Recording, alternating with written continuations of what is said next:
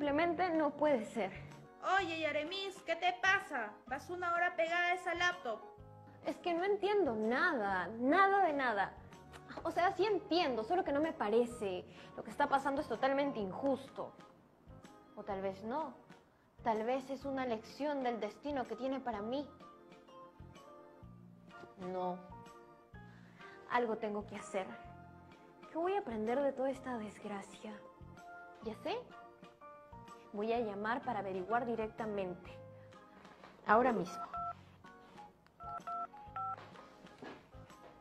Buenas tardes. En el Banco Porqui estamos siempre listos para escuchar sus necesidades. Por favor, ingrese su número de DNI. Si llamó para decirnos que somos su banco favorito, marque el número 1. Si usted llamó para que le ayudemos a resolver una duda o problema, marque el número 2. Sí, eso justo. Nuestras operadoras están todas ocupadas. Espere en línea. Para averiguar el sentido de la vida o escuchar chistes a un módico precio mientras espera su turno de atención, marque el número Ay, 10. no, no tengo paciencia para esto. ¿Cansada de buscar soluciones a tus problemas y no encontrarlos? Sí, Has agotado todas tus fuerzas y aún no consigues eso que tanto buscabas. exacto, soy yo misma. Quédate conmigo, tu radio de confianza. Al final de este programa obtendrás todas las herramientas para solucionar tus problemas, solo usando tu fuerza interior. Lo que yo necesito es una solución eficaz. Ya sé, voy a comunicarme con la profe Daisy. Ella siempre me ayuda y tiene buenas ideas. Yo ahorita necesito ideas lógicas, matemáticas, precisas. Profe Daisy, ¿está ahí? Aquí ando. ¿Cómo estás, Yaremis? Ando muy preocupada. La llamo porque necesito una cabeza calculadora que me ayude a pensar. ¿Con cabeza calculadora te refieres a mi cabeza? Más o menos, es decir, sí, la llamo porque tiene que ayudarme, profe. Creo que ha metido la pata y ahora estoy endeudada. ¿Endeudada? ¿Cómo? ¿Le debes dinero a alguien? Sí, mucho dinero, más dinero que el que he tenido en mis manos en toda mi vida. Mm, Ok, suena dramático, pero todos hemos sentido eso alguna vez. Creo que has llamado a la persona correcta. ya, profe, le cuento, pero no me vaya a juzgar, ¿ah? Lo que pasa es que me presté una bici de mi primo para poder ir a todos lados. Solo unos días, y además él no lo usaba tanto. Qué bueno, Yaremis. No sabía que te gusta montar bici. Sí, leí que es bueno para el medio ambiente y a mí me gustan las plantas. Además, me ahorro pasaje y llego más rápido cuando hay tráfico. Pero ese no es el punto. El punto es que ahora estoy en problemas por esa bici. Bueno, si sigues tan misteriosa, no creo que te pueda ayudar. Espere, me parece o usted me dijo que había tenido una deuda. Varias. No siempre he sido tan hábil con esto del dinero, el ahorro, las deudas. Bueno, hasta que las matemáticas llegaron a mi vida. Uy, yo también necesito que lleguen a mi vida ahora. Genial, te ayudo en lo que necesites, pero ¿no me vas a contar lo que te pasó antes? No me digas que te... Alguien me tomó. Eso fue lo que pasó. Yo había dejado amarrada la llanta a un poste de luz para irme a comprar un heladito y ahora solamente tengo la llanta. Por eso necesito el dinero. ¿Ya lo has conversado con tu primo? No, de ninguna forma. Yo solamente le voy a comprar su bici y se la voy a dejar en su casa. Si le digo va a pensar que soy un irresponsable, que siempre pierdo las cosas. Seguro le va a decir a otras personas. Y entonces me convertiré en la persona de la familia a la que nunca le prestan nada por el resto de la eternidad. Pero esto es algo que le puede pasar a cualquiera. Creo que podrías negociar con tu primo, dividir el costo de la bici en cuotas y acordar un cronograma de pagos. ¿Ya? ¿Qué otra opción se te ocurre? Que me diga todo sobre los bancos para que me ayude a convencerlos de que me den dinero hoy mismo. Pero si ni a mí que tengo empleo me prestan dinero, Ay, entonces, ¿qué hago? Mira, ¿qué te parece si pensamos juntas alguna forma de ahorrar ese dinero? Creo que eso es lo más racional ahorita. Y tú buscabas un cerebro calculador, ¿no? Está bien. Primero conversemos un poco para despejarnos, porque con ese ánimo que traes, no creo que puedas aprender mucho. Podemos decir trabalenguas, eso siempre ayuda a desestresarme. A ver, dime uno, pero uno que no sea eso de los tres tristes tigres, uno nuevo. La araña con maña teje su telaraña, un ladrón muy ladroncelo, unos ladrillos quiso ladronear.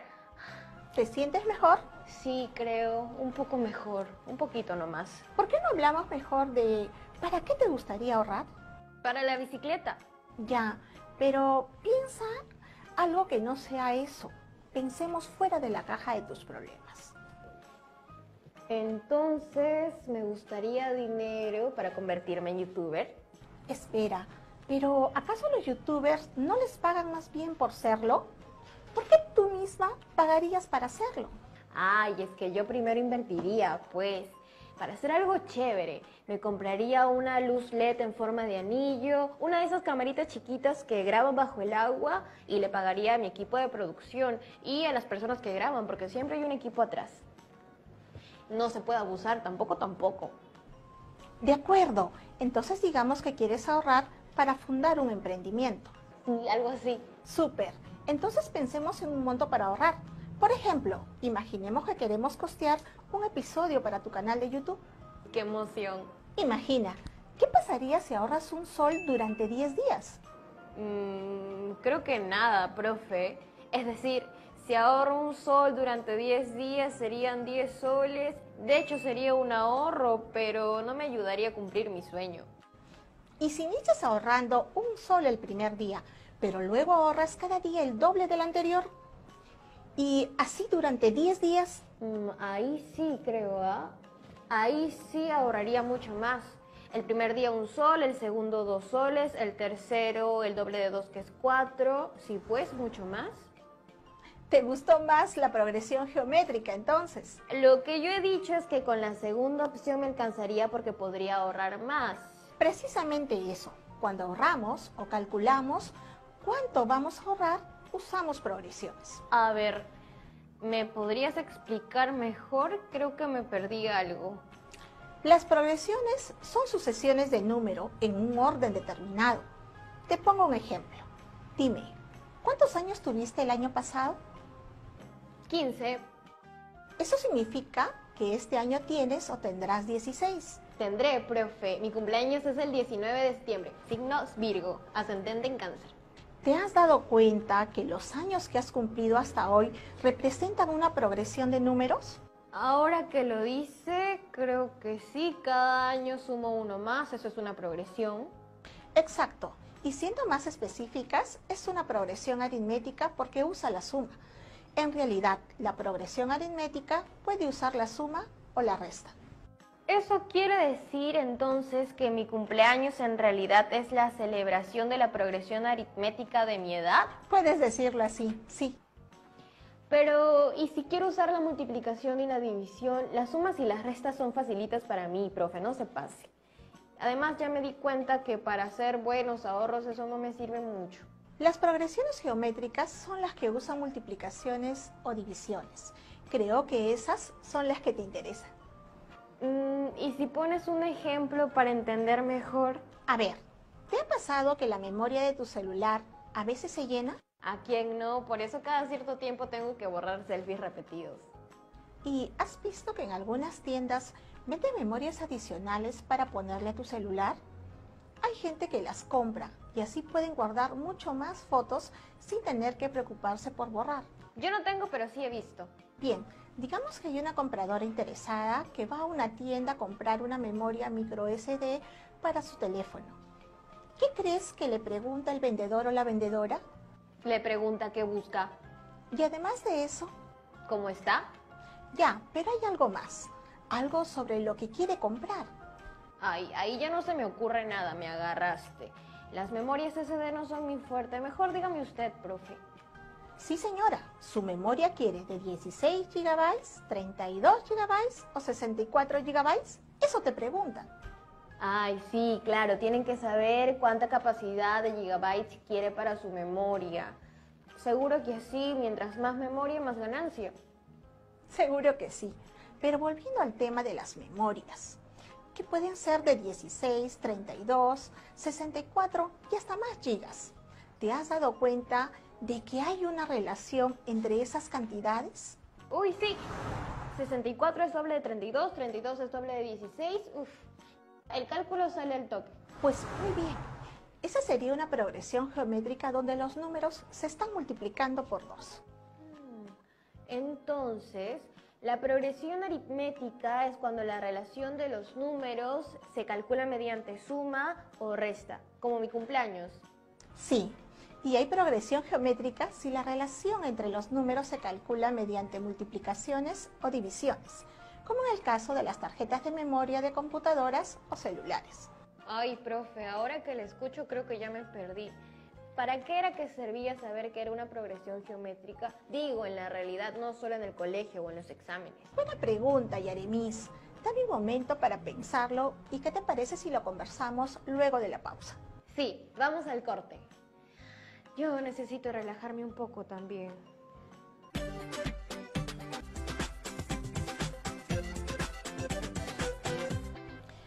Del corte, quedamos en que te explicaría qué utilidad tiene la progresión geométrica en la vida de una persona. La verdad es que no me quedó claro eso. Usted lo hace sonar divertido, pero si no entiendo para qué se usa, no lo voy a poder recordar. Entiendo totalmente. A ver, hablemos de un tema del cual se habla mucho en estos días. Debes haber visto que muchas personas hacen estimaciones sobre el número de personas infectadas por el COVID-19 que habrá en las próximas semanas. Uy, sí, varios andan intentando predecir el futuro.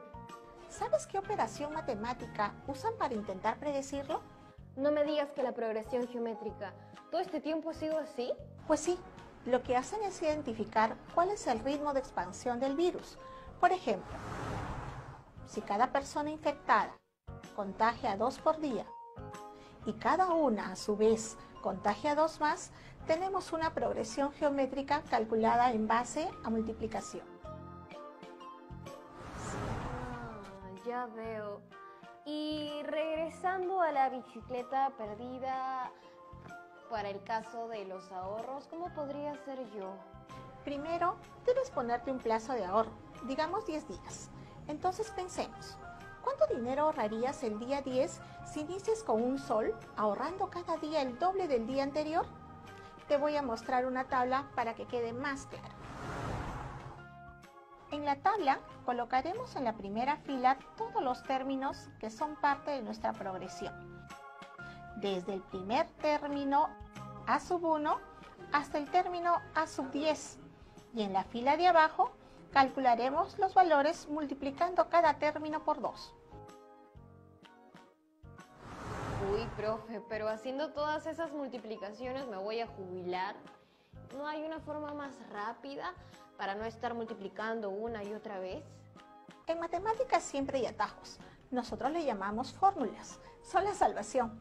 Por ejemplo, con esta fórmula que te voy a mostrar ahora, vas a poder saber cuánto dinero ahorrarías el día 10 si inicias con un sol, ahorrando cada día el doble del día anterior. Muestre la fórmula salvadora, porfa. Ahora reemplazamos las cantidades.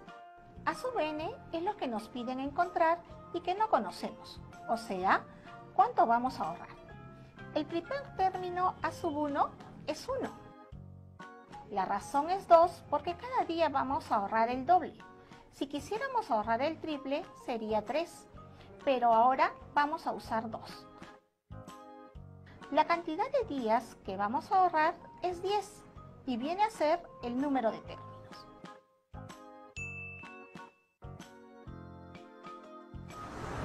¿Viste el resultado? El día 10 ahorrarías un total de 512 soles.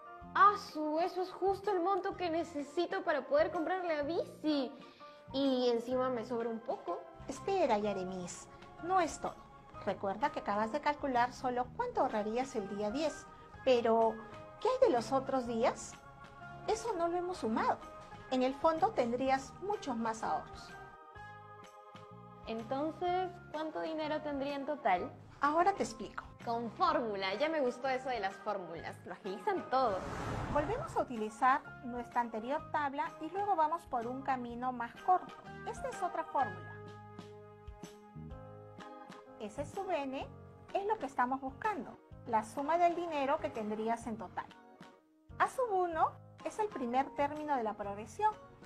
Eso quiere decir que A sub 1 es 1. R es la razón. ¿Qué es la razón? Es esa multiplicación o división que hace que la progresión vaya creciendo o decreciendo. 2, 4, 8, 16. Se están multiplicando por 2, ¿verdad? Esa sería la razón, el 2. Y n es la cantidad de términos. Dijimos que ahorraríamos por 10 días. n sería 10. ¿Me sigue, Yaremis? Creo que sí. Bien, entonces tenemos que el número de términos es 10. La razón es 2. El primer término es 1. Y ese sub n es la suma o lo que nos piden hallar. Ahora reemplazamos. Eso sale 1023. ¿Qué? ¿Tanto dinero? Si ahorro así me alcanza para tener mi canal de YouTube. ¿Ves que planificar tus ahorros usando progresiones geométricas puede resultar muy útil? Sí, pero siendo sincera, creo que yo puedo empezar ahorrando con 20 céntimos. ¿Vale igual? Claro, mira, lo importante es que empieces cuanto antes para poder lograr tu meta de ahorro. No te preocupes por el monto inicial, lo importante es empezar. Su gracias, Daisy. Me has hecho notar que ahorrar no es tan difícil como parece y que lo podemos hacer a nuestro ritmo. Claro, teniendo en cuenta lo que nos conviene más. ¿Sigues pensando aún en ocultarle a tu primo lo de la bicicleta? Bueno, ahora que he entendido que alcanzar mi meta de ahorros me va a tomar unos días, creo que no me queda de otra. Aunque a lo mejor apago el teléfono y me desaparezco. O lo bloqueo de WhatsApp hasta que haya ahorrado lo suficiente. No sé, es una decisión complicada. Cuidado nomás, porque si lo bloqueas y otro miembro de la familia se lo advierte, quedarías al descubierto. Tal vez los bloqueo a todos. Es una opción, aunque yo me iría por el camino más simple, confesar la verdad. Bueno, ahorita mejor no pienso en eso porque me pongo ansiosa. Más bien, mis amigos del cuarto y yo tenemos unas preguntas sobre todo lo que nos has enseñado de las progresiones geométricas. Soy toda oídos. A ver, la primera pregunta que no me quedó clara es si puede haber una mezcla. Por ejemplo, ¿es posible que en una progresión geométrica haya multiplicaciones y divisiones a la vez? No, o tienen multiplicaciones o solo tienen divisiones. Mm. ¿Y las fórmulas? ¿En una fórmula se puede simplificar la R del nominador con la del denominador? No, porque primero se deben operar con el 1 que tienen al lado. Otra pregunta. Las que quieras.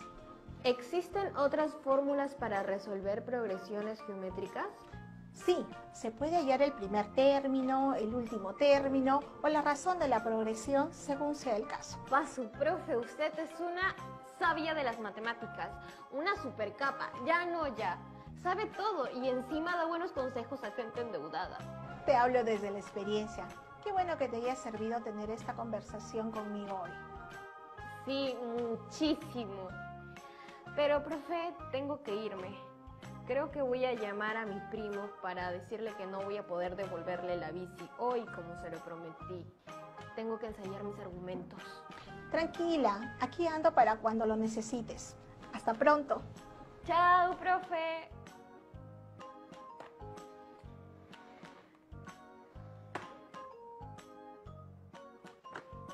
Buena la conversa, ¿no? Hoy hemos aprendido a resolver situaciones cotidianas usando las progresiones geométricas. ¿Quién diría que iban a ser tan útiles? Ya estamos llegando al final del programa. Eh, ¿Alguien ha visto mi folder? Este es el folder para poner todo lo aprendido hoy. No se olviden. ¿Qué tal si piensan en una meta de ahorro para cumplir un deseo personal y tratan de estimar una progresión geométrica para llegar a ella? tiene que ser una meta viable. Como mi canal de YouTube, 100% viable. Nos vemos pronto, amigos y amigas de cuarto. Ahora me voy a ensayar. Oye, Carlitos, tú sabes que tú y yo somos primos, que desde chiquitos nos hemos tenido harta confianza, que yo siempre he pensado que tú eres mi pariente favorito de toda la familia.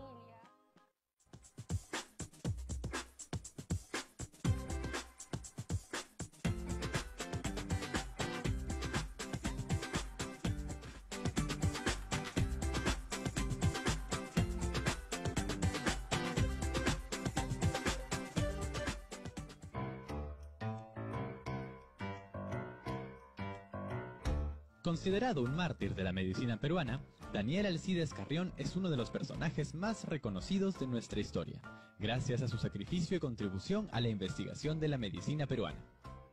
Aún no he muerto, amigo mío. Ahora les toca a ustedes terminar la obra ya comenzada, siguiendo el camino que les he trazado.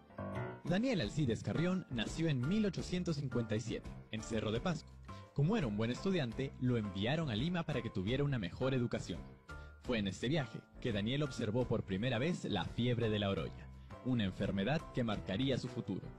Con intenciones de ser médico, Daniel ingresó a la Facultad de Medicina de la Universidad Nacional Mayor de San Marcos, después de intentarlo por segunda vez. Sus primeros años de estudio coincidieron con el estallido de la Guerra del Pacífico, pero ni este evento pudo evitar que continuara con sus estudios.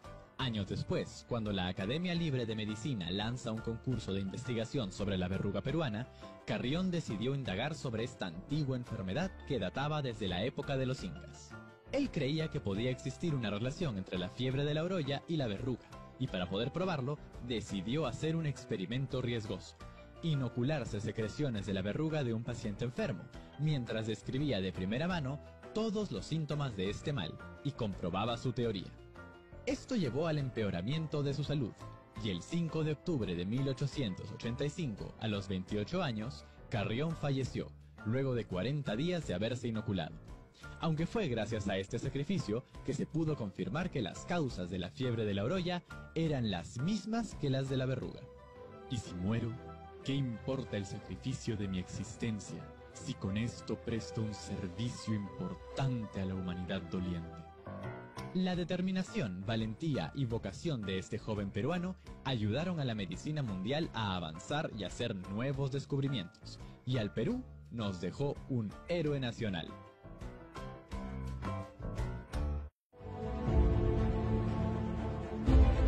¡Gloria al Perú y las alturas! Nuestra voz tuvo que regresar para darnos un mensaje. No fue un buen partido de Perú. No, hay que decirlo sinceramente, no fue un buen partido de Perú.